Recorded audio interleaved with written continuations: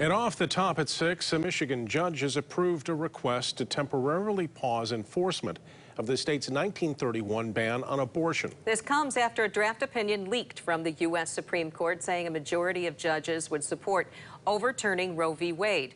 News 8's Kyle Mitchell is here in the studio with what state legal experts are saying. Kyle. Sue and Brian, in the ruling today from Court of Claims Judge Elizabeth Gleicher, she says a Planned Parenthood lawsuit had a strong likelihood of winning the case against the 1931 law, and the injunction is needed to protect rights granted under Michigan law.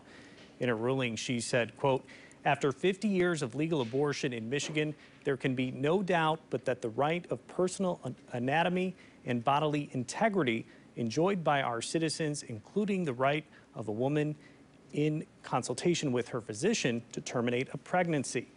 A law professor from Detroit uh, Mercy Law School says the question of the right to bodily integrity will be key.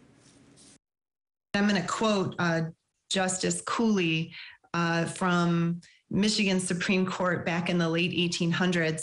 Um, the right to be let alone that the the right to a person's body is a right to um, complete immunity rel- relative to um, decisions made about your body. And his opinion as the Michigan Supreme Court justice has been cited by the Supreme Court for uh, many years.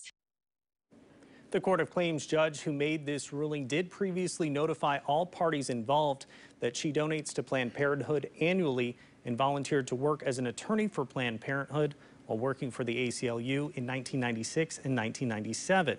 The judge says she does not believe this warrants her recusal from hearing the case. Sue.